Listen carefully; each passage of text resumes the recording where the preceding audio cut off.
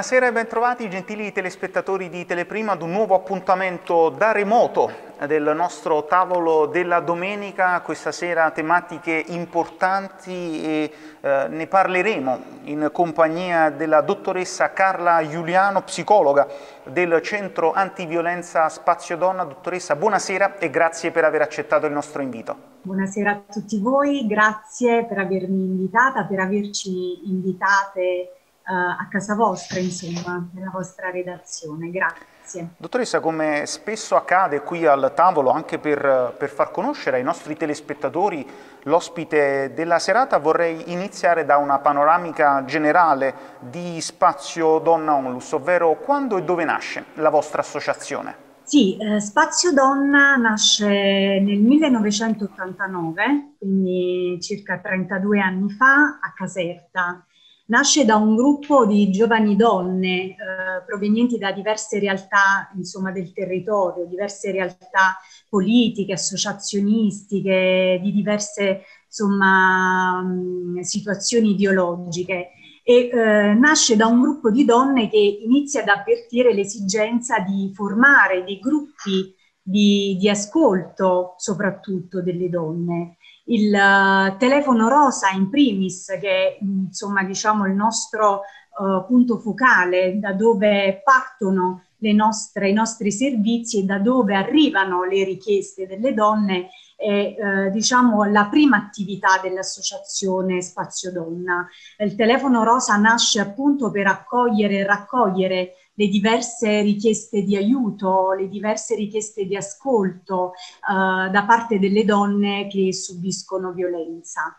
Negli anni poi l'associazione ha dovuto eh, assumere diverse altre forme, cioè aggiungere delle attività, perché le donne avevano eh, bisogno non più di essere solo ascoltate e accolte loro, eh, diciamo, nelle loro storie, ma eh, dovevano essere proprio accolte fisicamente, perché avevano bisogno di scappare dalle loro case di origine, quindi dalle loro abitazioni, ormai luoghi di violenza e abuso e ehm, insomma avevano bisogno, richiedevano sempre di più degli alloggi sicuri, delle case protette. Uh, Spazio Donna quindi nel 1998 uh, fonda la prima casa di accoglienza in Italia meridionale, quindi nel sud Italia, il Nido Rosa a Casa Giove, la prima casa di accoglienza. Uh, dopo il Nido Rosa ne abbiamo fondate altre, ne abbiamo aperte altre, grazie anche alle istituzioni locali, quindi la prima a Casa Giove, poi a Caserta con il CADM, poi oggi l'ultima Casa Aurora a San Potito. Ovviamente ogni casa rifugio accanto a un centro di ascolto, quindi un centro antiviolenza che raccoglie le numerose telefonate di queste donne, madri eh, che hanno bisogno appunto non solo di consulenze psicologiche, legali, ostetriche che offriamo gratuitamente, ma hanno bisogno proprio, come dicevo prima, dei luoghi sicuri dove poter crescere i loro bambini quindi case rifugio, centri eh, antiviolenza e qualche anno fa anche un punto rosa eh, all'ospedale di Sessaurunca. Abbiamo potuto fondare grazie all'amministrazione di Sessaurunca, grazie all'ospedale che ci ha, ci ha creduto e ci ha ospitato, il pronto soccorso rosa, una corsia preferenziale per le donne che arrivavano in ospedale avevano bisogno di essere ascoltate e refertate uh, in ambito di violenza.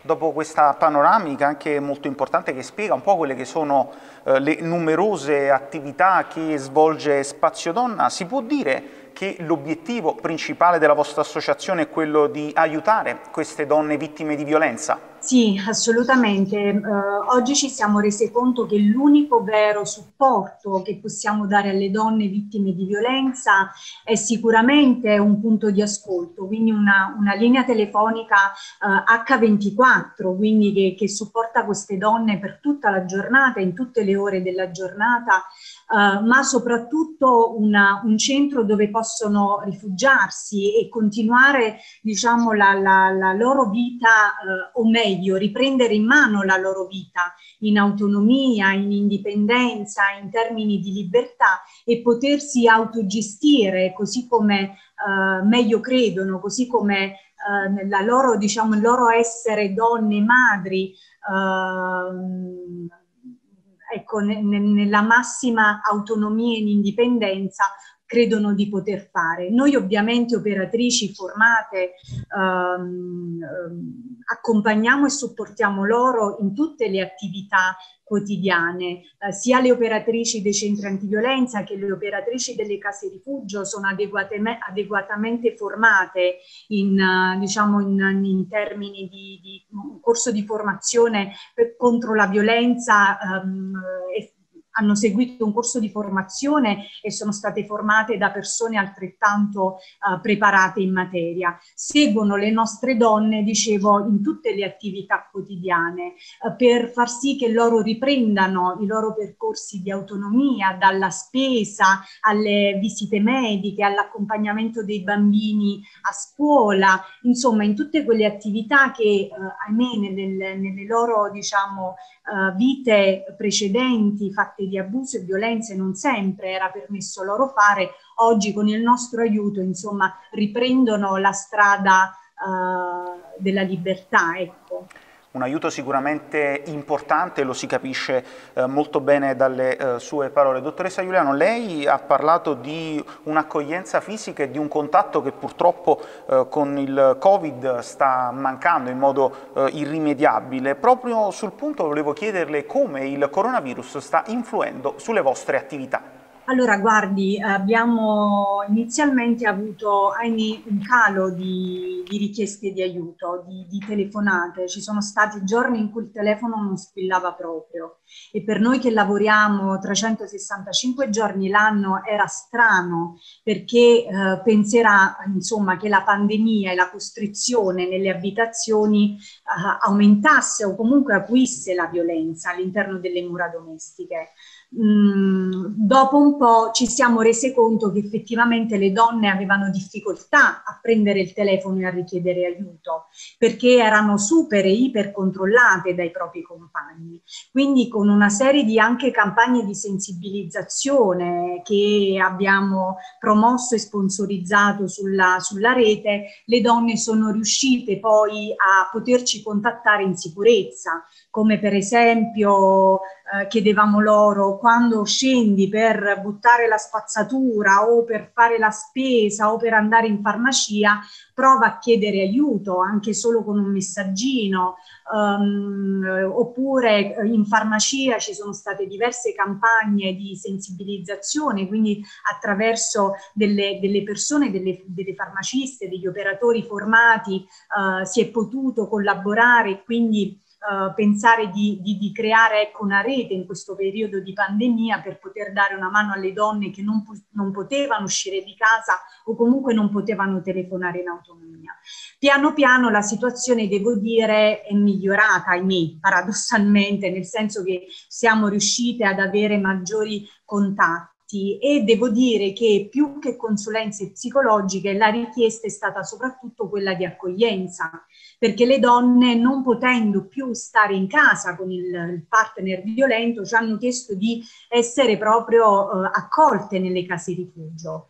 Abbiamo dovuto seguire un protocollo formale istituzionale, abbiamo attraverso la collaborazione con alcuni alberghi e bed and breakfast tenuto le donne in quarantena fiduciaria, quindi 15 giorni con i loro bambini, se avevano bambini, dopodiché venivano accolte nelle case rifugio. Quindi noi operatrici, sempre in turnazione, um, negli alberghi o insomma in, in, ostelli che ci ospitassero, ovviamente eh, un protocollo di intesa con retribuzione e quant'altro. Dopo questa, eh, diciamo, questa um, sorta di uh, non mi viene il termine, questa, come dicevo prima, ehm, diciamo situazione, ecco. Sì, esatto, dopo questi 15 giorni di protezione potevano ecco, essere accolte nelle case rifugio in massima sicurezza e senza il pericolo di aver contratto il Covid, quindi anche per le donne che già uh, coabitavano nella casa rifugio.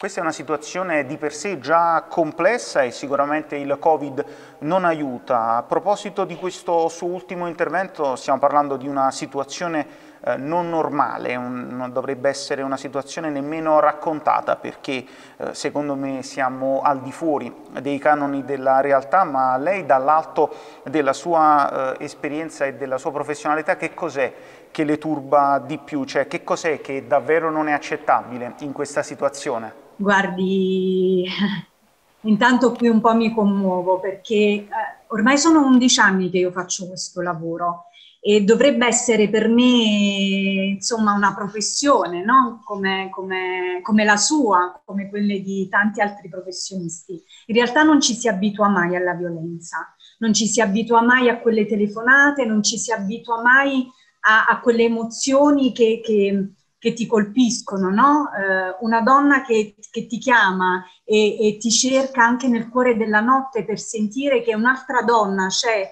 e, e ti può ascoltare e ti può dare una mano, insomma è sempre una sensazione che ti lascia, uh, sì, come, come, diceva lei prima, quasi disorientato, no? smarrito, cioè, ma com'è possibile che ancora oggi nel 2021 e siamo a marzo e voglio dire che siamo già a 15 femminicidi, insomma, siamo ad aprile veramente, a, a marzo le statistiche portavano già a 15 femminicidi che eh, insomma sembra ormai il nostro orecchio essersi abituato, ma se dicessimo sono stati ammazzati eh, 15, non lo so, eh, cani, probabilmente ci farebbe comunque eh, terrore ed orrore questa notizia.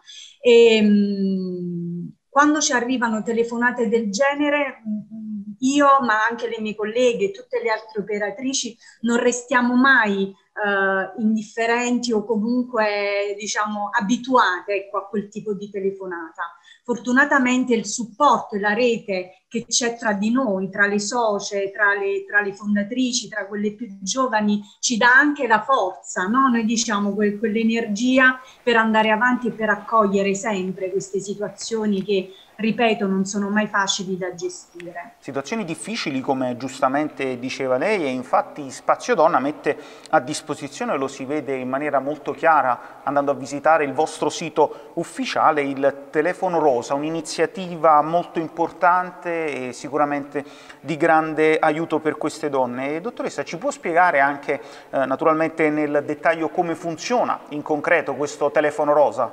Certo, intanto eh, è importante dire che il telefono rosa è collegato alla rete nazionale del 1522, quindi noi eh, di Caserta, noi telefono rosa eh, Recapito Donna di Caserta, siamo collegate al centro DIRE, quindi alla rete nazionale del 1522. Se una donna eh, del casertano non ha il nostro numero di riferimento e chiama il 1522, le operatrici del 1522 le rimandano al nostro numero eh, telefonico.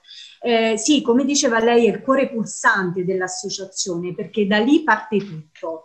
Uh, intanto è, è, un piccolo centro di documentazione, di cultura, di scambio, di supervisione, di rete femminile, dove eh, da lì, come dicevo prima, nasce un po' tutto, no? nascono anche le nostre idee, ma soprattutto le nostre energie per poter accogliere quelle che sono le diverse richieste di aiuto, che eh, tra le, tra le tante, devo dire, non sempre c'è la, solo la consulenza psicologica, la consulenza legale, penale o civile, la consulenza ostetrica, ginecologica. Tante volte, ultimamente sta capitando, ci sono anche delle semplici richieste di ascolto, soprattutto le signore di 70, 80 anni, le donne un po' più no, che avanzano verso gli anni, ci chiamano per poter Uh, sentire la voce di noi operatrici per avere anche una persona su cui poter contare, no? con cui potersi confidare, poter raccontare la, la, propria storia.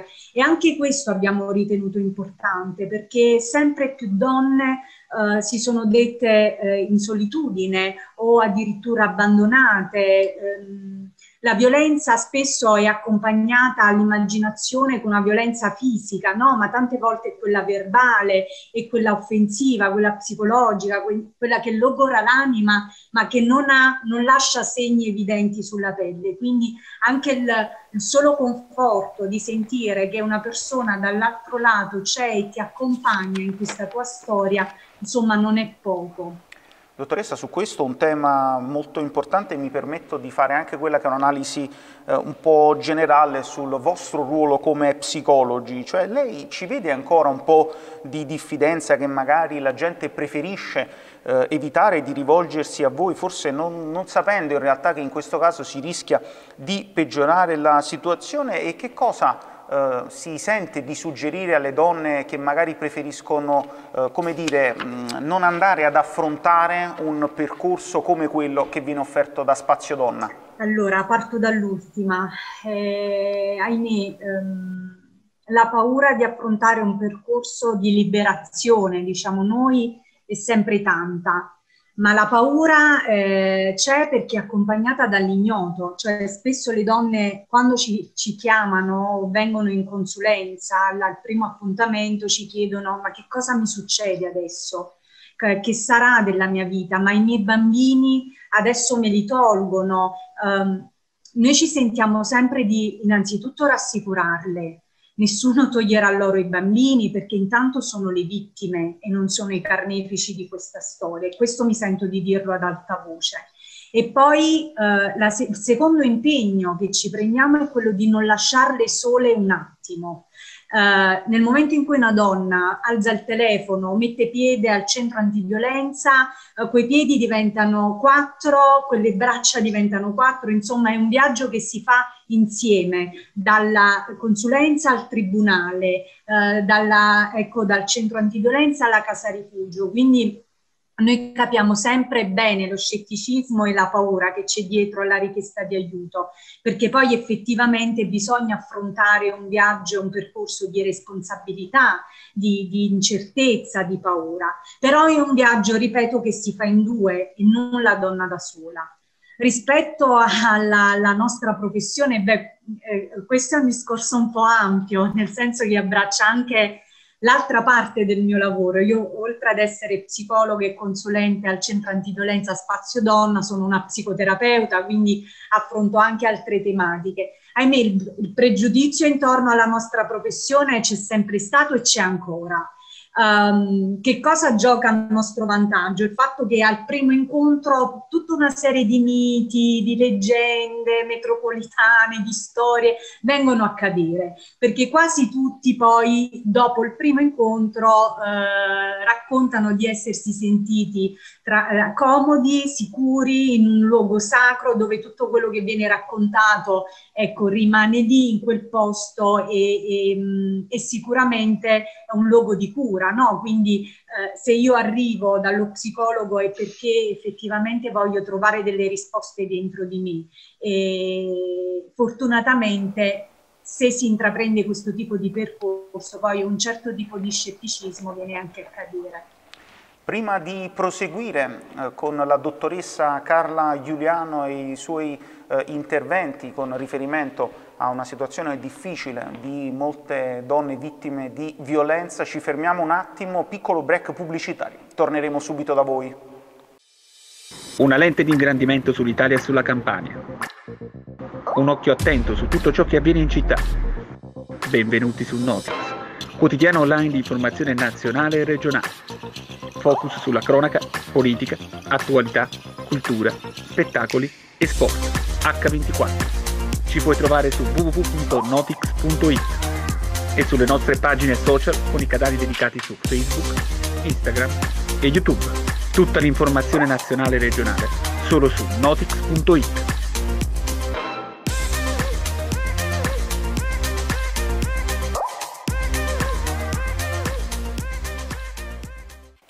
Eccoci rientrati in studio qui al tavolo della domenica, questa sera postazione da remoto e siamo in compagnia della dottoressa Carla Giuliano, psicologa eh, dell'associazione Spazio Donna. Stavamo parlando di tematiche relative eh, all'aiuto per queste donne vittime di violenza e eh, eh, gradirei ripartire da una giornata importante come quella eh, dell'8 marzo, come ogni anno eh, si celebra questa giornata internazionale della donna. E dottoressa noi ogni anno crediamo che possa andare meglio, invece in realtà così eh, non è. Lei ha citato poc'anzi numeri impietosi con 15 femminicidi in poco più di un centinaio di giorni eh, dall'inizio del 2021 sono numeri che non tendono a scendere, su questo il Covid naturalmente fa la sua parte ma non può bastare a giustificare questi gesti e dunque su questo eh, le chiedo anche a nome della vostra associazione che cos'è che ancora non va su questo punto. Allora, um, ci siamo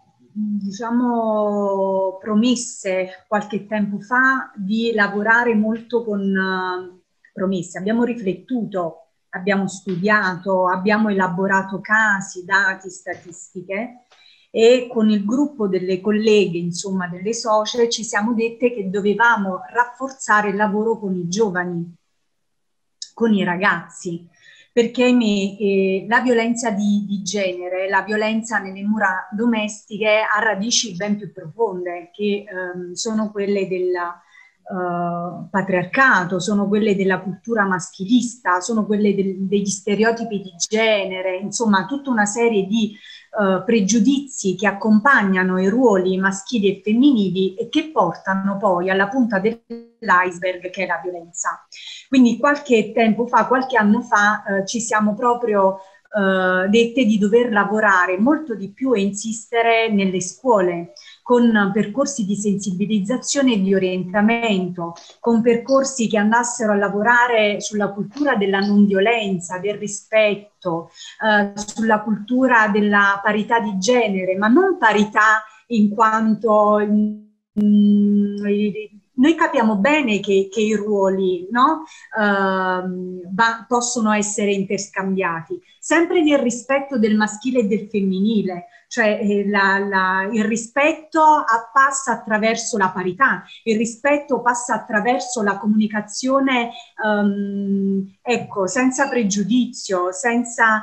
Um, se, se, vogliamo pensare alle parole, no? eh, spesso ci si dibatte su avvocato, avvocatessa, eh, su eh, presidente, presidentessa, va bene tutto e va bene eh, tutto quello che viene insomma rispetto a questo. Quello che ci preoccupa è il contenuto, quanto eh, un presidente è rispettato quanto una presidentessa, quanto una persona che, ecco, eh, lei mh, insomma si occuperà anche di sport, no? Quanti, ehm, vediamo quanti arbitri maschili e femminili ci sono, sempre ancora pochi arbitri femminili. Quanti giudici maschili e femminili ci sono, ancora pochi giudici femminili. Ora chiamiamoli come vogliamo, l'importante è che diamo ai generi la stessa dignità di essere e la stessa dignità di poterci essere. Questo è quello che vogliamo portare ai giovani. Soprattutto oggi, e ne stiamo sempre sempre più parlando, dobbiamo portare la cultura del rispetto attraverso i social. Cyberviolenza, cyberbullismo, revenge porn, sono tutte parole che ci spaventano perché in realtà nascondono dietro, dietro dei fatti molto gravi che soprattutto gli adolescenti oggi vedono protagonisti. E stiamo lavorando molto su questo, sulla sensibilizzazione mh, al rispetto di genere.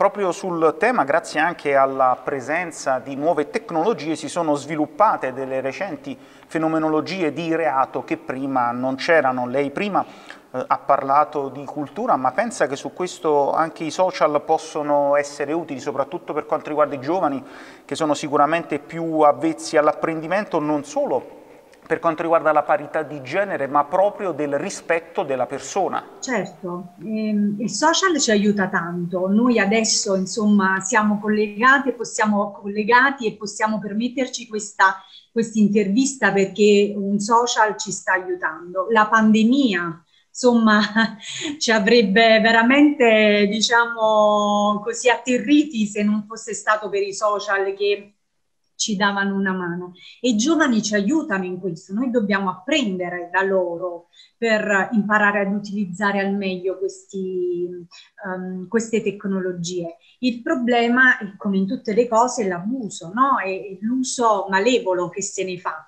E, ehm, se io penso che uh, qualche anno fa, parliamo anche della mia generazione, una offesa nasceva e moriva nel gruppo, uh, insomma, mentre ce lo dicevamo in piazza, su una panchina, uh, ecco, nasceva e moriva lì in quel luogo, anche fisico, ma insomma non, non c'era non c'era più traccia se non dentro e, e nell'animo dei protagonisti, ma oggi quell'offesa, ahimè, rimane, quella foto rimane, quel messaggio rimane ed è irreversibile. È questo che va spiegato ai giovani.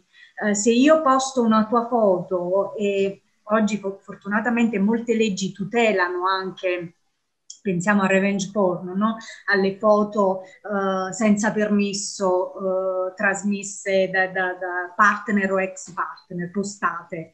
Que- oggi la legge ci tutela, ma mh, laddove anche una foto neutrale viene postata senza consenso può insinuare e, e comunque mh, uh, portare ad avere delle conseguenze negative.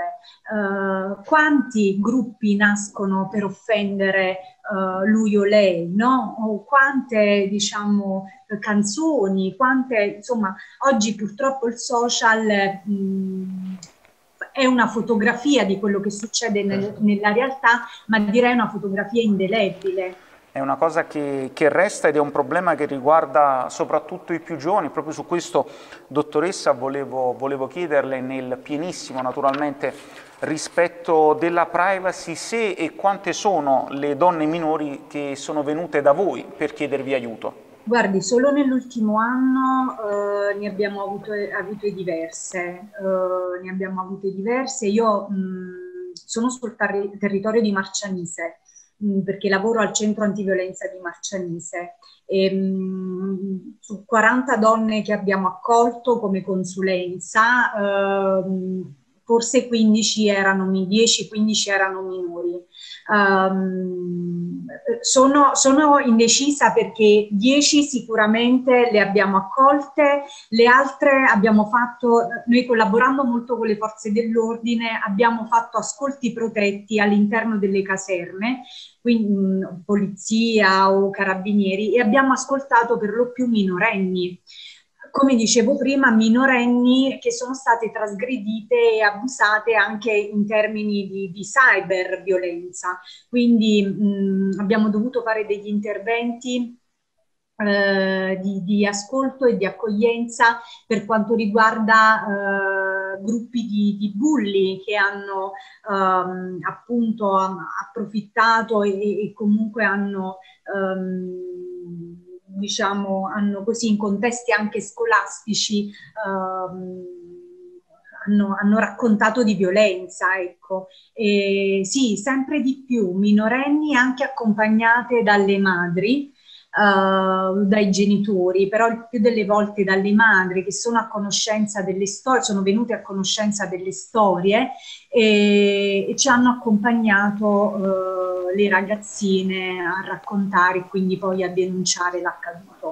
Indubbiamente è una situazione complessa nella drammaticità in sé del fatto. Dottoressa, lei però ci vede uno spirito, tra virgolette, positivo, mi spiego meglio, eh, chissà quante sono le violenze che rimangono non solo impunite ma proprio inascoltate e il semplice fatto di denunciare e rivolgersi a professionisti come voi è comunque un primo piccolissimo passo che comunque andrebbe sempre fatto.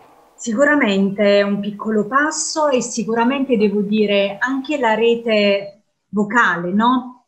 Eh, se una donna viene aiutata e eh, riesce ad uscire dal suo percorso di violenza, sicuramente riuscirà ad aiutare l'amica o la signora o la vicina di casa uh, che uh, allo stesso modo sta subendo, che sta subendo una violenza. Quindi devo dire, quando il servizio e l'attività funziona e si lavora bene, ehm, i numeri che in questo caso non ci piacciono mai essere tanti, però i numeri eh, nel nostro caso aumentano, quindi significa che abbiamo protetto e aiutato più donne.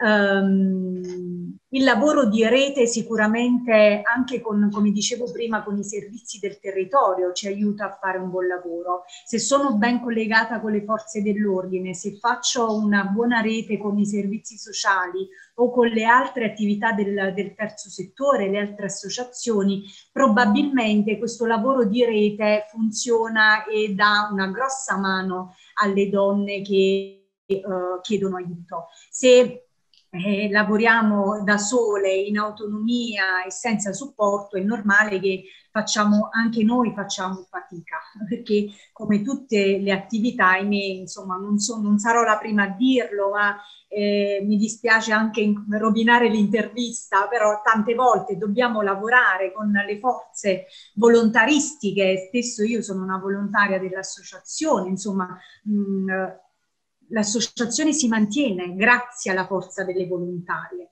perché se non fosse per il volontariato probabilmente anche Spazio Donna tante volte ne avrebbe risentito e non avrebbe potuto fare il lavoro che oggi fa da 32 anni. E invece con lo stesso animo, con o senza fondi, con o senza istituzioni, portiamo avanti le storie delle nostre donne. Questo è molto importante, grande forza, grande carisma e grande eh, volontà nell'aiutare queste donne in difficoltà. Dottoressa, noi siamo in chiusura e vorrei farle un'ultimissima proprio eh, su questo suo messaggio che è stato di grande spirito e eh, desiderio di proseguire in questo suo percorso e le chiedo, come spesso accade qui al tavolo della domenica, i suoi obiettivi ed auspici personali, se vuole, e anche di Spazio Donna. allora, è un po' difficile perché da un lato mi viene da dire che eh, mi piacerebbe lavorare con le donne, mh, ma su altro e non sulla violenza, nel senso che è un pensiero utopistico, ma ehm, mi piacerebbe ecco, che, che sempre meno si, si, parlasse di violenza di genere, sempre meno ehm, portassimo avanti queste storie, eh, a me ancora così feroci e terribili. Um, però allo stesso tempo, allo stesso modo mi viene da dire che è importante invece esserci nei territori tutti, ehm, non nel territorio di serie A e nel territorio di serie B. È importante che la, do, la donna sappia che c'è un posto sicuro dove poter andare un posto eh, che garantisca privacy, gratuità e soprattutto eh, empatia. La donna deve sentirsi veramente accolta e ascoltata. E, ehm, e, questo sicuramente è il mio messaggio, no? eh, che, che, lancio anche a chi è più forte e importante di me, di poterci dare una mano e un supporto, di poterci essere sempre, perché abbiamo capito che funziona e che la violenza forse può essere debellata se c'è un, un esercito che va contro. Quindi più siamo, meglio è, meno se ne parlerà forse. E, e, io mi auguro sempre di avere questa passione, perché nonostante gli 11 anni di, come direbbe una mia collega, militanza in spazio donna, mi sento sempre, sento sempre quel fervore e sento sempre di poter stare accanto alle donne, eh, anche con la stanchezza, ma con la stessa passione di 11 anni fa. Dottoressa Giuliano, io la ringrazio per il suo tempo, le sue parole e le auguro davvero un buon lavoro. Grazie a lei, grazie a tutti voi e buona serata. Ringraziamo nuovamente la dottoressa Giuliano per eh, questo suo preziosissimo intervento su tematiche ancora delicate, tematiche difficili che ogni anno ci troviamo ad affrontare, ma grazie eh, anche all'aiuto dei professionisti, delle professioniste di Spazio Donna Onlus. C'è una grande opportunità in più per queste donne per poter ripartire e soprattutto eh, far procedere a denunce, fare in modo che atti di violenza non rimangano come eh, tali. Eh, questa puntata del tavolo della domenica termina qui, io vi ringrazio per averci seguito, vi rinnovo l'appuntamento come ogni domenica, domenica prossima alle ore 21.30, grazie nuovamente per averci seguito e arrivederci.